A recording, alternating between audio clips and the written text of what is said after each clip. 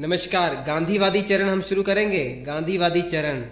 अभी तक आपने क्रांतिकारी आंदोलन का जो पहला चरण है, ये हमने अभी जस्ट कंप्लीट किया है। तो अब हम गांधीवादी चरण, गांधी जी के बारे में हम सभी चीज़ें हम पढ़ने वाले हैं। बस आप एक बार सपोर्ट करते रहिए लाइक करते रहिए, इसको शेयर करते रहिए। बहुत अच्छी जर्नी में मैं आपको लेके जाऊँगा। सब कंप्लीट करवा दूँगा फ्री में ही टेंशन मत लीजिए। गांधी जी के बारे में सबसे पहली बात आती है, चंपारण का जो सत्याग्रह इन्होंने किया था ना 1917 का वो। 1915 में गांधी जी भारत आ चुके हैं, ये आप सब जानते हैं। अब चंपारण सत्याग्रह क्या था, ये समझने का प्रयास कीजिए। देखिए, भारत में नील की खेती करना अनिवार्य कई कई जगह पर कर ही दिया था, अंग्रेज़ों ने, ये आप सब जानते हैं। ऐसे ही चंपारण एक क्षेत्र था, बिहार में ये चंपारण क्षेत्र पड़ता है। तो यहाँ पर अंग्रेज़ों ने तीन कठिया पद्धति लागू की हुई थी। ये तीन कठिया पद्धति ये थी कि एक बीघे के अंदर तीन कट्ठा जो ज़मीन था, एक बीघे में बीस कट्ठा ज़मीन होता है। ठीक है तो तीन कट्ठे ज़मीन पर ये नील की खेती करना अनिवार्य था। मतलब जितना भी खेत किसान के पास है, उसका तीन बटा बीसवां हिस्से पर उसको ये खेती करना अनिवार्य था, नील की खेती। तो ये था तीन कठिया पद्धति। पूरे उसके खेत के ऊपर तीन बटा बीसवें भाग पर नील की खेती करना अनिवार्य था। उसके लिए बागान के जो मालिक थे पैसे दे रहे थे, ठीक है, क्योंकि बागान के मालिक भी अंग्रेज़ हुआ करते थे ज़्यादातर, विदेश से आए थे व्यापार करने की दृष्टि से। तो उसके लिए वो पैसे भी दे रहे थे तो मजबूरन बस किसान कर ही रहे थे। खुशी से नहीं करते थे, खुशी से इसलिए नहीं करते थे, भले उनको यहाँ से पैसे मिल रहे थे, लेकिन खुशी से इसलिए नहीं करते थे क्योंकि जिस ज़मीन पर, जिस हिस्से पर ये खेती कर रहे थे ना, उस हिस्से की जो उपजाऊपन है वो ख़त्म हो जा रहा था। इसके अलावा इस खेती के लिए बाकी अन्य फ़सलों की अपेक्षा बहुत ज़्यादा पानी लगता था। तो इसलिए ये खुश नहीं थे ये खेती करके। लेकिन जैसे तैसे ये चल रहा था कोई दिक्कत नहीं। समस्या आना शुरू हुई 1915 से 1915 में जर्मनी के अंदर एक आर्टिफिशियल जो आ, कलर है उसका खोज हो गया। आर्टिफिशियल डाई या आर्टिफिशियल कलर का खोज हो गया। तो नील की जो डिमांड है वो कम हो गई यूरोप में। नील, समझ रहे हैं ना, जो नील कपड़ों को लगाया जाता है, और उस समय नील का यूज़ करके कपड़ों को कलरफुल किया जाता था, क्योंकि आज की तरह जैसे कितने सारे कलर है, उस समय खोज नहीं हुई थी। तो नील के माध्यम से कलर किए जाते थे कपड़ों को, लेकिन ये आर्टिफिशियल जो डाई की खोज हो गई जर्मनी में 1915 में, इसके कारण क्या हुआ, और ये सस्ता था, ये नील की अपेक्षा सस्ता पड़ता था। तो नील की डिमांड कम होना शुरू हो गई। नील की डिमांड कम होना शुरू हो गई तो जो बागान मालिक थे, उनका भी घाटा हो रहा था तो वो भी किसानों को चूस रहे थे, समझ लीजिए। खेती तो करवा रहे थे, लेकिन बहुत कम पैसों में अब उनसे खेती करवा रहे थे। जैसे पहले पहले जितना पैसा देते थे ना, अब उतना पैसा नहीं दे रहे हैं।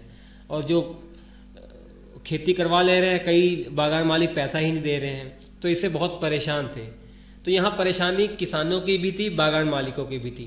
किसान तो बेचारा मजबूर था, बागान मालिक अपना जो नुकसान है वो किसान के ज़रिए से ही चूस लेते थे।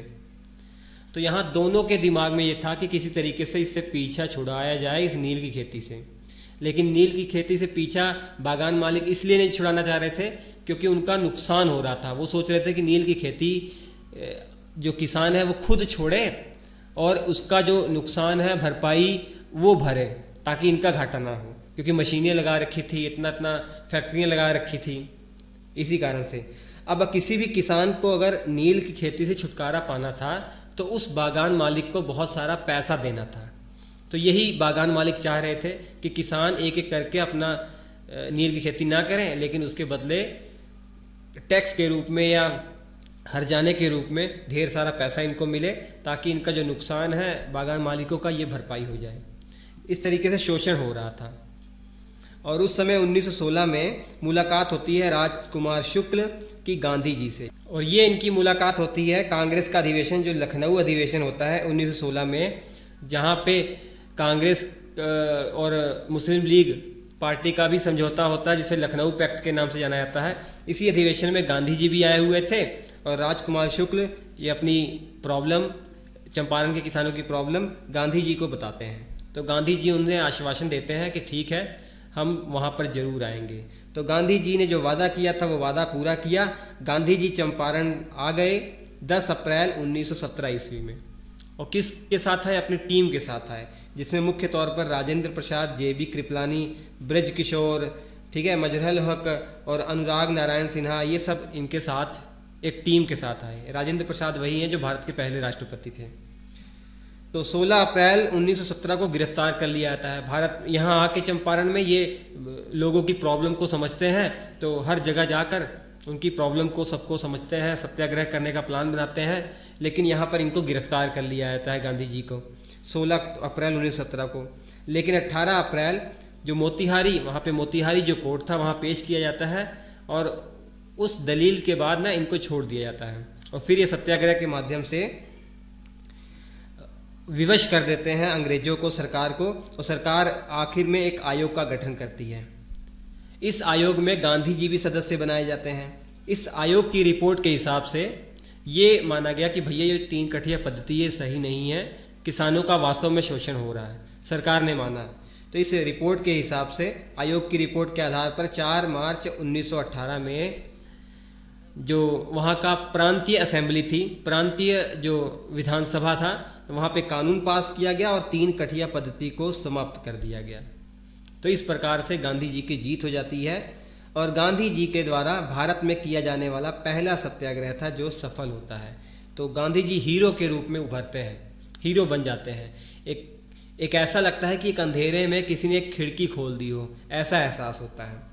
तो गांधी जी को इस यहाँ पर महात्मा कहा गया है, किसके द्वारा? रविंद्रनाथ टैगोर के द्वारा। नोबेल प्राइज विजेता रविंद्रनाथ टैगोर के द्वारा गांधी जी को महात्मा कहा गया है। तो महात्मा की उपाधि रविंद्रनाथ टैगोर ने दी हुई है। तो इतनी बातें आप, चंपारण जो सत्याग्रह है, उसके बारे में याद रख लीजिए। इसके बाद खेड़ा सत्याग्रह और अहमदा मील, अहमदाबाद जो मील मामला है, वो मैं आपको बताऊँगा अच्छे से। तो ये लगातार तीन हैट्रिक के बाद गांधी जी लगभग लगभग हर जगह फ़ेमस हो जाते हैं। ठीक है? तो चलिए हम मुलाकात करते हैं अगले एपिसोड में। अच्छा लगा होगा लाइक ज़रूर कीजिएगा शेयर करिए दोस्तों के साथ, ताकि जल्दी जल्दी जो वीडियो है नेक्स्ट मैं आपके लिए बना पाऊँ। ठीक है? ठीक है, मुलाकात करते हैं अगले एपिसोड में। नमस्कार।